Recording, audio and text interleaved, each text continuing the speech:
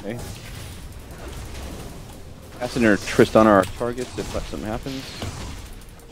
Can you, uh, if they if they get saucy, We don't I want. you to them. yeah, I don't want. We don't want to engage. We want them to do something stupid here. But uh, yeah. if I see your ult, if you want to do something, like I'll throw an ult down. Just Okay. Okay. a threshold could be nice to land. I'm I'm staying silent so that I can ult in. Yep. There it is. Here we do it. Oh! Oh! Oh! Oh!